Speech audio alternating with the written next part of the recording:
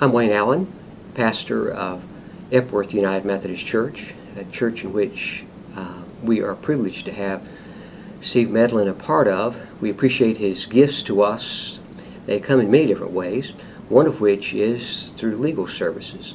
He is currently involved in helping us incorporate our church and to bring us into the 21st century. Um, and we give thanks for those gifts which he's willing to share with us.